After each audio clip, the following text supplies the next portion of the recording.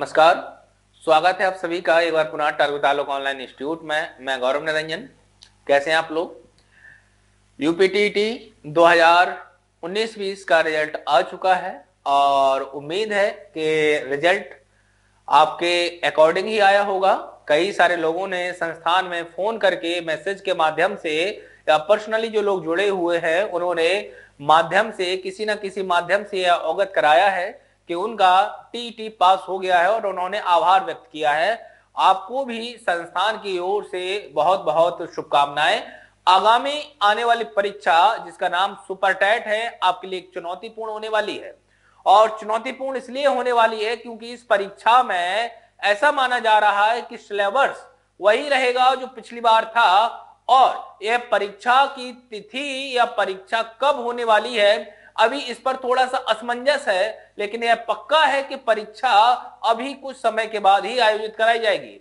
अभी देखा जा रहा था कि चार हज़ार पद जो थे, वो एडेड स्कूलों में और छब्बीस हज़ार जूनियर के पद शामिल किए गए और 26 और चार मिला के हो जाते हैं लगभग तीस हज़ार पद। ठीक ना? तो तीस हज़ार पद आएँगे जूनियर और प्राइमरी को मिलाकर और उसमें से एक वैकेंसी एक पद आपको अपने लिए आरक्षित कर लेना है।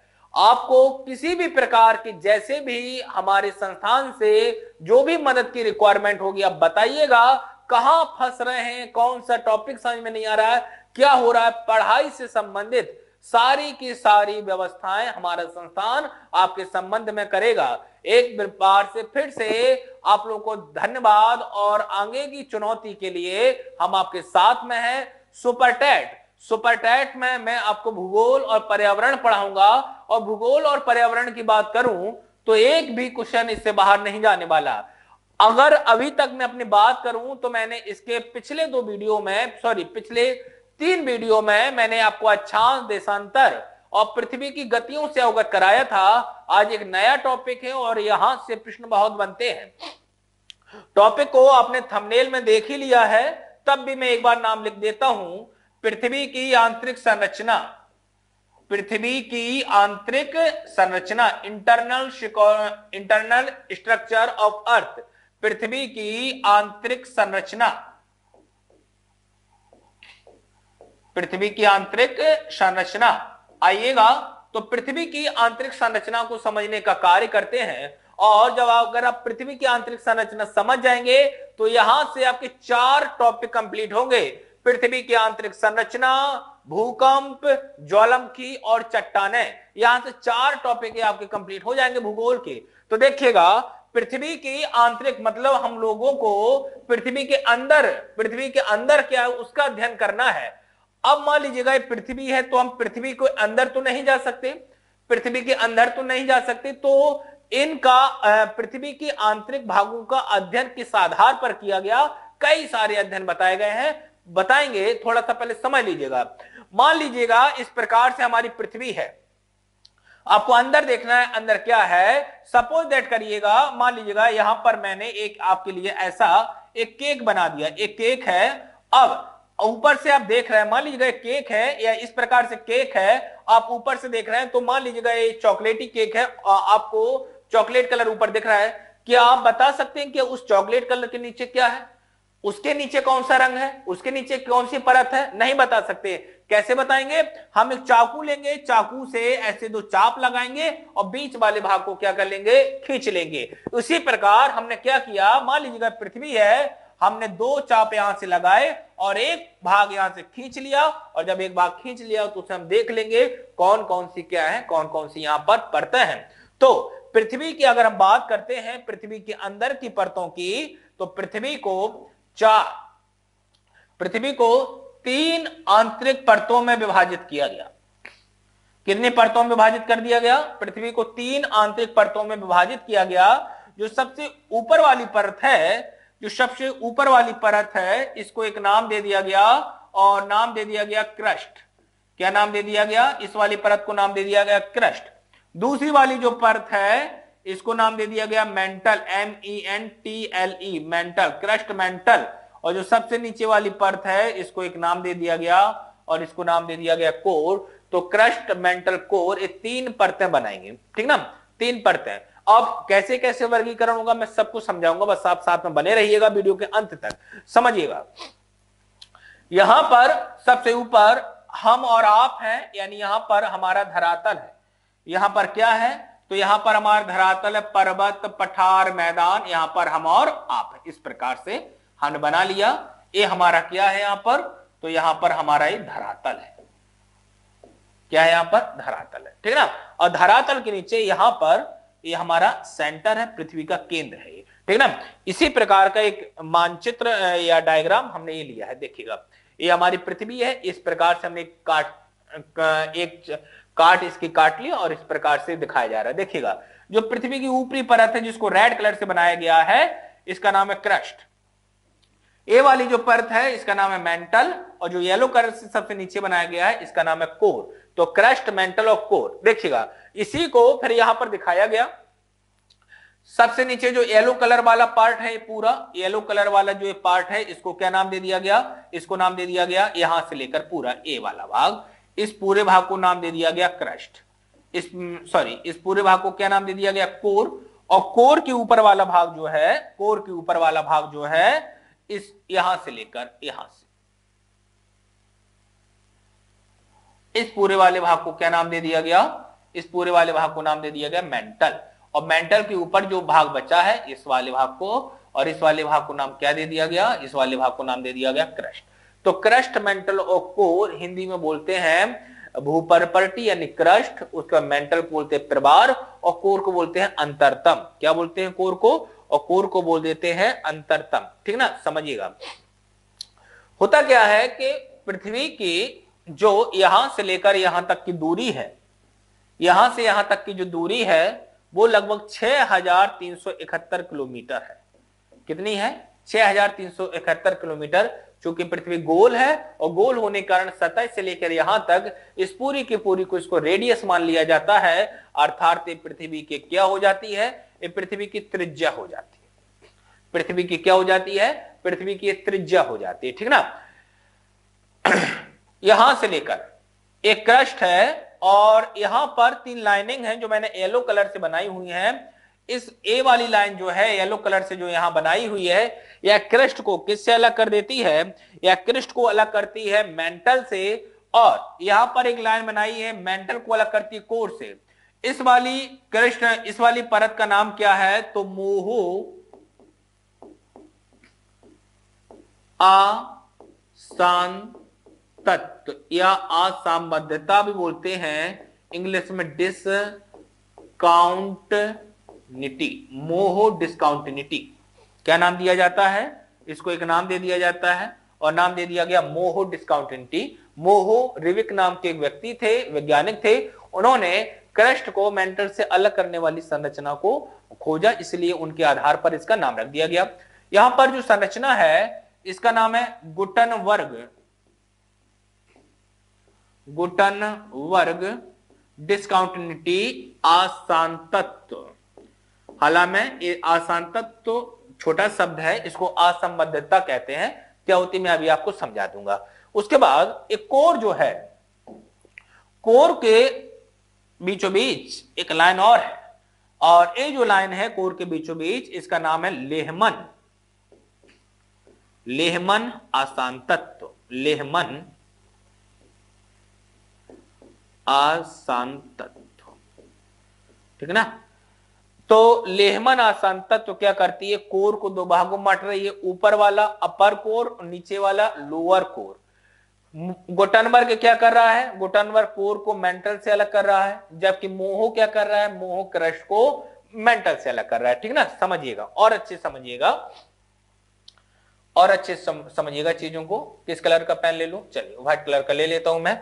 ये जो क्रस्ट है एक लाइन होती है जो क्रस्ट को दो भागों बांट देती है। एक क्रस्ट को दो भागों बांट रही है। ऊपर वाला जो हो गया, ऊपर वाला हमारा हो गया अपर क्रस्ट और नीचे वाला कौन सा हो गया? तो नीचे वाला हमारा हो गया लोअर क्रस्ट अपर क्रस्ट और कौन सा क्रस्ट लोअर क्रस्ट और जो व्हाइट कलर से लाइन बनाए हैं, इस लाइन का नाम क्या है? कोनोरॉड कोनोरॉड आसान तत्व। डिस्काउंटिनिटी कोनोरॉड आसान तत्व है उसके बाद, मेंटल जो है, मेंटल को भी एक लाइन होती है जो मेंटल को भी दो भागों में बांट देती है। किसको? मेंटल को दो भागों में बांट देती है और मेंटल को कौन कौन से दो भागों में बांटती है? या इस लाइन का नाम पहले देख लेते हैं। तो ये जो लाइन है यहाँ पर, इसका नाम है रिपीटी रिपीटी आसान तत्व। क्या नाम इसका? रिपीटी आसान तत्व। तो रिपीटी आसान तत्व मेंटल को दो भागों में बांटती है। ऊपर वाले को नाम दे दिया गया अपर मेंटल और नीचे वाले को नाम दे दिया गया लोअर मेंटल क्या नाम दे दिया गया? लोअर मेंटल है लोअर मेंटल ठीक ना? एम एन टी एल ठीक ना? उसके बाद लेहमा ने इसने भी कोर को दो भागों बांटा। ऊपर वाली को अपर कोर और नीचे वाली को क्या नाम दे दिया गया? नीचे वाली को नाम दे दिया गया लोअर कोर अपर कोर और नीचे वाले को क्या नाम दे दिया गया? नीचे वाले को नाम दे दिया गया लोअर कोर ठीक ना? बहुत आपको लग रहा होगा कि सर क्या बिल्कुल सिंपल सा है, इसलिए मैंने कलरफुल कलरफुल पेन का यूज़ किया है, ठीक ना? ये होती है यहाँ पर परतें, ठीक ना? अब मैं एक डायग्राम और बनाऊँगा अभी, बाद में बना दूँगा, पहले समझिएगा। ये बाबू, जो आपका क्रस्ट है, यानी ऊपर से लेकर येलो वाले तक, ठीक ना? ऊपर से लेके कहाँ तक? ऊपर से लेके येलो तक का। इसको हम यहाँ से, इसको अभी मिटा देते हैं ठीक ना? त्रिज्या वाला जो लिखे हैं। यहाँ, ऊपर क्रस्ट से लेकर और पूरा क्रस्ट का जो भाग होता है, ये लगभग लगभग यहाँ से 30 किलोमीटर तक का क्षेत्र होता है। यहाँ से कितने किलोमीटर तक का क्षेत्र होता है? तो यहाँ से 30 किलोमीटर का क्षेत्र होता है और यहाँ से लेकर, यानी मोहो से लेकर गुटनवर्ग तक का जो क्षेत्र होता है, ये लगभग लगभग इक्यावन किलोमीटर का होता है। लगभग लगभग कितने किलोमीटर का होता है? तो लगभग लगभग सॉरी उन्तीस किलोमीटर का होता है। लगभग कितने किलोमीटर का होता है? तो लगभग ये हो जाता है उन्तीस किलोमीटर का। यहाँ से लेकर यहाँ तक। ये उन्तीस किलोमीटर का क्षेत्र हो गया। और उन्तीस तो पूरी कितना ही है हाइट यहाँ से यहाँ तक? तो यहाँ से यहाँ तक पूरा मतलब यहाँ से यहाँ तक छह हज़ार तीन सौ इकहत्तर है और छह हज़ार तीन सौ इकहत्तर में से अगर उन्तीस सौ और तीस को माइनस करेंगे तो लगभग लगभग इक्यावन सौ बच जाता है। तो इक्यावन सौ यहाँ का है, यानी यहाँ से लेकर और यहाँ तक। ठीक ना? तो यहाँ से यहाँ तक की हाइट लगभग कितनी है? तो लगभग इक्यावन सौ किलोमीटर है। टोटल कितनी है? टोटल छह हज़ार तीन सौ इकहत्तर किलोमीटर है। इतनी याद रखना, ठीक ना? कई बार पूछ लेता है कि धरातल से कितने किलोमीटर तक क्रस्ट का विस्तार पाया जाता है? तो धरातल से जहाँ पर हम है, यहाँ से 30 किलोमीटर तक 30 किलोमीटर तक, यानी मोह आसान मोह आसान तक किसका विस्तार है? क्रस्ट का, यानी 30 किलोमीटर तक। उसके बाद मोह से लेकर गुटनवर्ग तक का कितना विस्तार होता है? लगभग उन्तीस ठीक ना? और इस पूरे क्षेत्र में क्या है? मेंटल है। उसके बाद गुटनवर्ग से लेकर पृथ्वी के केंद्र तक, यानी लगभग इक्यावन किलोमीटर तक क्या होता है? इक्यावन किलोमीटर तक कोर होता है, ठीक ना? अगला समझिएगा। ऊपरी क्रस्ट, ये पूरा का पूरा क्रस्ट और ऊपरी मेंटल, ठीक ना? इसको मैं दूसरे एक पेज में और बनाऊँगा। मान लीजिएगा, इस प्रकार से है।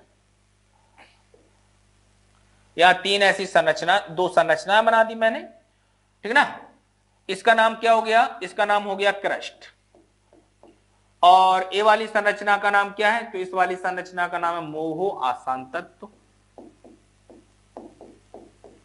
क्या नाम है? मोहो आसान तत्व और यहाँ पर एक संरचना है, जिसका नाम है कॉनोरॉड। कॉनोरॉड आसान तत्व ठीक ना? यहाँ पर एक और संरचना है। ठीक ना? यहाँ पर एक और संरचना है और और संरचना लिखने से पहले या क्रिस्ट के बाद एक कौन सा क्षेत्र है? तो ये मेंटल है। M N T L E और यहाँ पर जो संरचना है, इस संरचना का नाम क्या बताए थे अभी आपको? रिप्टी। रिप्टी। ठीक है ना? तो अच्छे समझिएगा। तो पूरा का पूरा क्रस्ट, पूरा का पूरा क्रस्ट यानी ये पूरा क्षेत्र, यहाँ से लेकर यहाँ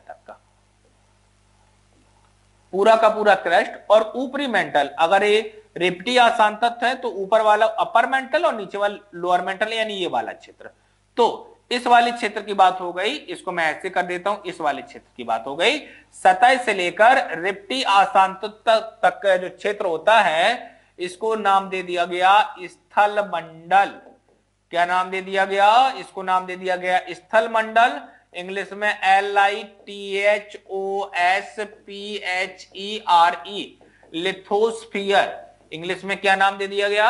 लिथोस्फियर कई बार पूछा जाता है स्थल मंडल के अंतर्गत कौन कौन सी संरचनाएँ शामिल हैं? तो स्थल मंडल के अंतर्गत पूरा का पूरा क्रस्ट और ऊपरी भाग का मेंटल स्थित है।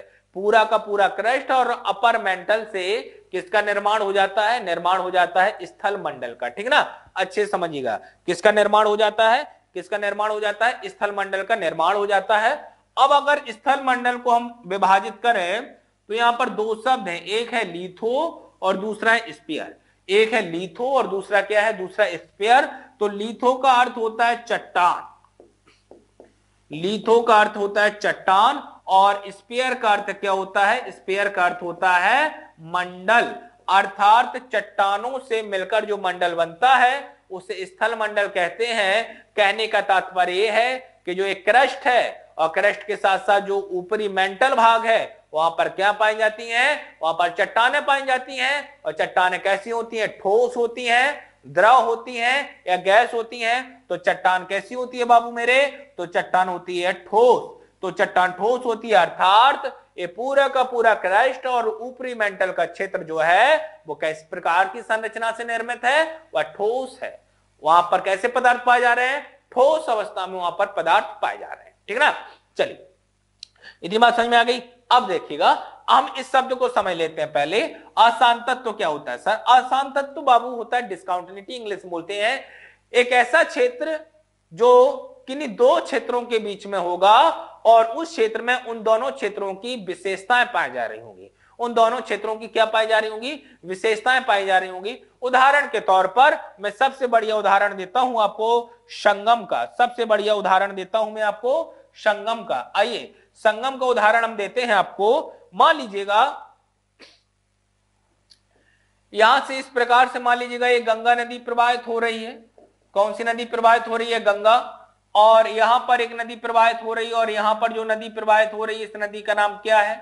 इस नदी का नाम है यमुना। तो ये बताइए, यमुना का जो पानी होगा, यमुना का जो जल होगा, इसकी विशेषताएँ अलग प्रकार की होंगी? इसकी विशेषताएँ अलग होंगी। और जो गंगा होगा, गंगा नदी है, इसके जल की विशेषताएँ, इसके जल की विशेषताएँ अलग प्रकार की होंगी। होगी ना? जल की विशेषताएँ अलग होंगी।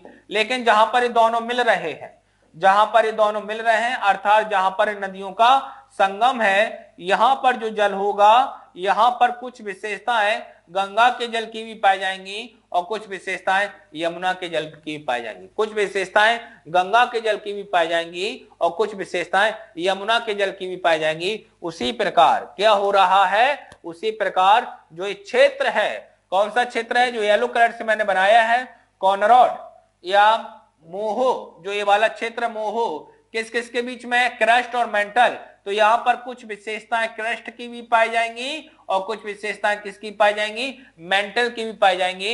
एक गुटन वर्ग है। ऊपर है मेंटल और नीचे है क्या? नीचे है कोर। तो यहाँ पर कुछ विशेषताएँ मेंटल की भी पाई जाएँगी और कुछ विशेषताएँ किसकी पाई जाएँगी? कुछ विशेषताएँ कोर की भी पाई जाएँगी। तो कुछ विशेषता मेंटल की और कुछ विशेषता आपके कोर की पाई जाती है। ठीक ना? इतनी बात हो गई। चलिए। अब देखिएगा। हमने बताया कि क्रस्ट और ऊपरी मेंटल का जो भाग होता है, उसको स्थल मंडल कहते हैं। स्थल मंडल का अर्थ क्या होता है? चट्टानों से निर्मित मंडल और चट्टाने कैसी होती है? चट्टाने ठोस होती है। मतलब क्रस्ट का जो भाग है और साथ ही साथ जो मेंटल का भाग है, ऊपरी मेंटल का भाग, वह किससे निर्मित है? वह ठोस से निर्मित है। किससे निर्मित है? ठोस से निर्मित है। अब पृथ्वी के अंदर किस अवस्था में पदार्थ पाए जा रहे हैं? ठोस अवस्था में है द्रव अवस्था में है या गैसीय अवस्था में है, इसका अध्ययन लगाएँगे। और इसका अध्ययन करेंगे, इसका पता लगाने के लिए हमने कई सारे एक्सपेरिमेंट किए और उन सब एक्सपेरिमेंटों में भूकंपीय तरंगों के आधार पर किए गए अध्ययन सर्वाधिक प्रमाणित है। किस आधार पर? भूकंपीय तरंगों के आधार पर किया गया अध्ययन सर्वाधिक प्रमाणिक माना जाता है। किस आधार पर पृथ्वी की आंतरिक संरचना के अं-, अंदर कौन कौन से पदार्थ हैं? इसका अध्ययन जो है वो भूकंपीय तरंग भूकंप तरंग के आधार पर करेंगे। किसके आधार पर करेंगे? भूकंप तरंग के आधार पर करते हैं। ठीक ना? किस प्रकार करते हैं देखिएगा। ये पृथ्वी है और ये पृथ्वी का जो है ये पृथ्वी का सेंटर है केंद्र है। पृथ्वी का एक केंद्र है, छह किलोमीटर की इसकी यहाँ से यहाँ तक लंबाई है। यहाँ से धरातल से हम तरंग नीचे की ओर भेजते हैं। भूकंपी तरंग बेसिकली तीन प्रकार की होती हैं पी एस और एल लेकिन हम दो ही तरंग की बात करते हैं। पी और एस तो पी और एस की बात करते हैं तो एक तरंग है पी और एक तरंग है एस पी तरंग जो होती है, यानी प्राथमिक तरंग जो होती है, प्राथमिक तरंग की विशेषता ये होती है कि प्राथमिक तरंग जो है तीनों माध्यम में चल सकती है। प्राथमिक तरंग जो यहाँ पर है पी यानी प्राथमिक तरंग या प्राथमिक तरंग जो है, वो तीनों माध्यम में चल सकती है। तीनों माध्यम में।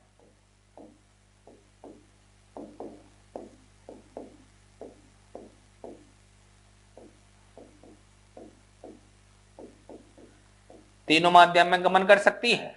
जबकि द्वितीय तरंग जो यहाँ पर है द्वितीय तरंग की विशेषता ये होती है द्वितीय तरंग द्वितीय तरंग केवल ठोस माध्यम में चलती है। किस माध्यम में चलती है? केवल ठोस माध्यम में गमन करती है। कहाँ गमन करती है? केवल ठोस माध्यम में गमन करती है। तो जब पी तरंगे गुजारी गई तो पी तरंगे क्रस्ट में भी चली, मेंटल में भी चली और कोर में भी इनकी गति है। यानी ये जो तरंगे हैं, वो तीनों माध्यम से होकर गुजर गई। ये जो तरंगे हैं पी ये तीनों संस्तरों या तीनों मंडल से होते हुए गुजर गई। अर्थात ये पता चला या तो यहाँ पर ठोस है, या द्रव है, या गैस है। तीनों जगह ठोस भी हो सकता है, द्रव भी हो सकता है गैस भी हो सकता है। ठीक ना? उसके बाद द्वितीय तरंगों को गुजारा गया। तो द्वितीय तरंगे जब यहाँ से गुजारी गई तो द्वितीय तरंगे व्हाइट कलर के पेन बना रहे हैं। एस तरंगे जब यहाँ से गुजारी गई तो एस तरंगे प्राथमिक में तो चली, या क्रस्ट में तो इनकी गति हुई। क्रस्ट के बाद मेंटल में भी इनकी गति हुई। मेंटल के बाद ऊपर वाले कोर में इनकी गति नहीं हुई, लेकिन निचले कोर यानी लोअर कोर में फिर से इनकी गति हुई। लोअर कोर में फिर से इनकी गति हुई। मतलब कि एस तरंग जो केवल ठोस माध्यम में चलती हैं, उनको क्रस्ट में देखा गया मेंटल में देखा गया और लोअर कोर में देखा गया, अर्थात अपर कोर में इनको नहीं देखा गया अपर कोर में इनको नहीं देखा गया अपर कोर में नहीं देखा गया। मतलब अपर कोर के जो पदार्थ हैं, वो ठोस अवस्था में नहीं है। या तो वो द्रव अवस्था में है, या फिर वो किस अवस्था में है, या फिर वो गैस अवस्था में है। या तो वो ठोस अवस्था में है, या फिर वो किस अवस्था में है, या फिर वो द्रव अवस्था में ठीक ना? अच्छे समझिएगा। ठीक ना? या तो ठोस अवस्था में हो सकते हैं या द्रव अवस्था में हो सकते हैं। ये पता चल गया हमें। ऊपर के दोनों मंडल, यानी क्रस्ट और मेंटल नीचे का लोअर, ये तो ठोस है, लेकिन यहाँ पर द्रव हो सकता है या गैस हो सकता है। ठीक ना? अच्छे समझिएगा। अब दोबारा क्या हुआ कि पता लगाया क्या कि अंदर द्रव है या गैस? तो द्रव यानी मैटर की तीन अवस्थाएँ होती हैं, ठोस द्रव और गैस। अगर पूछा जाए सबसे ज़्यादा स्थान कौन घेरती है तो सबसे ज़्यादा स्थान घेरती है गैस। यानी गैस स्थान घेरती है और गैस स्थान घेरेगी तो गैस के लिए क्या होना आवश्यक है? गैस के लिए आयतन का होना आवश्यक है, लेकिन हम जानते हैं कि पृथ्वी ठोस है, यानी पृथ्वी पिंडों से निर्मित है, चट्टानों से निर्मित है, और चट्टाने एक दूसरे से चिपकी हुई हैं। जब चट्टाने एक दूसरे से चिपकी हुई होंगी तो क्या वहाँ पर ठोस में गैस पाई जाएगी? तो वहाँ पर गैस नहीं पाई जाएगी। मतलब ठोस भी नहीं है और गैस भी नहीं है। तो है क्या भैया? तो बच्चा हमारा द्रव। तो कहा गया कि पृथ्वी के जो लोअर कोर अपर कोर है, वहाँ पर द्रव होगा। फिर कहा गया कि द्रव को के, के लिए भी स्थान चाहिए। द्रव भी स्थान घेरता है। द्रव स्थान घेरता है और द्रव तभी रह पाएगा जब बीच में स्पेस होगा बीच में क्या होगा? आयतन होगा। जबकि बात यह है कि ऊपर वाला पिंड नीचे वाले पिंड पे दाब लगाता है या नीचे वाले पिंड पर दबाव डालता है जिस कारण से बीच में स्पेस नहीं पाया जाता। जिस कारण से बीच में स्पेस नहीं पाया जाता तो ठोस और ठोस तो हो नहीं सकता था। द्रव या गैस होना चाहिए था। गैस हो नहीं सकती बच्चा द्रव और द्रव को भी मैंने बता दिया कि द्रव नहीं हो सकता। तो भैया होगा क्या? द्रव ही होगा। अंदर की परत में यहाँ पर द्रव ही है। लिक्विड फॉर्म में ही यहाँ पर पदार्थ है, लेकिन स्पेस ना होने के कारण यहाँ के पदार्थ क्या हो गए हैं? यहाँ के पदार्थ ठोस हो गए हैं। द्रव अवस्था में होने के बावजूद भी यहाँ के पदार्थ किस अवस्था में चले गए हैं? इस यहाँ के पदार्थ किस अवस्था में चले गए हैं तो यहाँ के पदार्थ ठोस अवस्था में परिवर्तित हो गए। ठीक ना? समझिएगा इसको। ठीक ना? अब समझिएगा। इतनी बात हो गई क्लियर? इसी में हम अभी आपको और समझाते हैं। तो अंदर या तो ठोस द्रव होना चाहिए था, गैस गैस इसलिए नहीं है क्योंकि आता नहीं है, और द्रव भी इसलिए नहीं है क्योंकि आता नहीं है। लेकिन बहुत अधिक दबाव होने के कारण जो यहाँ पर द्रव थे, वो धीरे धीरे धीरे धीरे किसमें कन्वर्ट हो गए? वो धीरे धीरे कन्वर्ट हो गए ठोस में। ठीक ना? जैसे जैसे हम पृथ्वी के अंदर की परतों में जाते हैं जैसे जैसे हम पृथ्वी के अंदर की परतों में जाते हैं, तापमान में वृद्धि होती है। आप पृथ्वी के धरातल के अंदर की परतों में जाइएगा, तापमान में वृद्धि होगी और लगभग 32 मीटर की गहराई में जाने पर 32 मीटर की गहराई में जाने पर एक डिग्री सेंटीग्रेड तापमान में वृद्धि होती है। कितनी? एक डिग्री सेंटीग्रेड तापमान में वृद्धि होती है जब आप बत्तीस डिग्री सॉरी, बत्तीस मीटर अंदर जाते हैं। ठीक ना? तो अंदर की परतों में जाने पर तापमान में वृद्धि होगी। अंदर की परतों में जाने पर भी प्रेशर में भी वृद्धि होती है। दाब। क्योंकि प्रत्येक ऊपर वाली चट्टान, नीचे वाली चट्टान पर क्या कर रही है? दबाव डालती है। इसलिए जो केंद्र है, इस केंद्र पर ऊपर के सभी पिंडों का दबाव पड़ता है और सभी पिंडों का दबाव पड़ने के कारण ही यहाँ पर बीच का स्पेस क्या हो गया है? बीच का स्पेस खत्म हो गया। ठीक ना? तो ताप और ताप उसके बाद अंदर की परतों में जाने पर घनत्व में भी वृद्धि होती है। अंदर की परतों में जाने पर जो डेंसिटी है, उसमें भी वृद्धि होती है और डेंसिटी में वृद्धि होने का कारण भी बताया गया। डेंसिटी में वृद्धि होने के तीन रीजन बताए गए हैं। तीन रीजन बताए गए हैं और बताया गया कि डेंसिटी में, यानी घनत्व में इसलिए वृद्धि हो रही है क्योंकि ऊपर वाले परतों में, यानी क्रस्ट में और मेंटल में हल्के घनत्व वाली धातुएँ पाई जा रही हैं और कोर में जो है वो भारी घनत्व वाली धातुएँ पाई जा रही हैं, ठीक ना? उसके बाद स्वेस नाम का एक वैज्ञानिक आया स्वेस महोदय। स्वेस महोदय के द्वारा पृथ्वी की आंतरिक संरचना का अध्ययन किया गया और उन्होंने बताया कि जो सबसे ऊपरी परत है, अर्थात जो क्रस्ट है, मैं और बड़ा बना देता हूँ। इन्होंने बताया कि जो पृथ्वी की सबसे ऊपरी परत है, जो पृथ्वी की सबसे ऊपरी परत है, यानी जो क्रस्ट है C R U S T crust है, इसमें सिलिका और सिलिका के साथ साथ एल्यूमिनियम पाया जाता है। उन्होंने बताया कि जो निचली, दूसरी परत है, mantle M N T L E mantle में सिलिका के साथ साथ क्या पाया जाता है? एल्यूमिनियम, इसलिए सियाल कहते हैं। और नीचे वाली परत जो है, इसमें निकल और निकल के साथ साथ आयरन पाया जाता है, जिसको कोर कहा जाता है। क्या कहा जाता है इसको? कोर। तो कोर में निकल और आयरन, निकल और आयरन पाया जाता है। निकल और आयरन के कारण इसको नीफे कहते हैं, इसको क्रस्ट को सियाल कहते हैं और मेंटल को सीमा कहते हैं। हालाँकि सी का मतलब सिलिका है और सीमा। क्या कहते हैं? सीमा।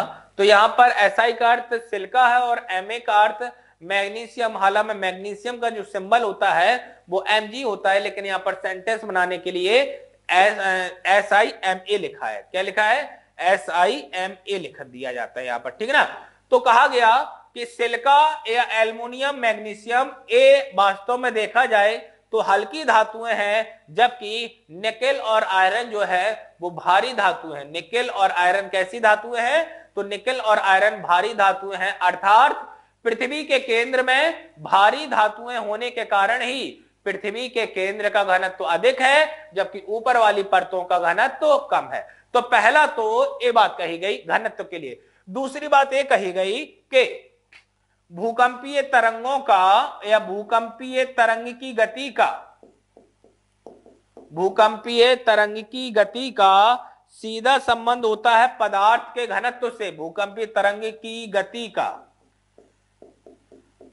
सीधा संबंध होता है पदार्थ के घनत्व से, पदार्थ के घनत्व से।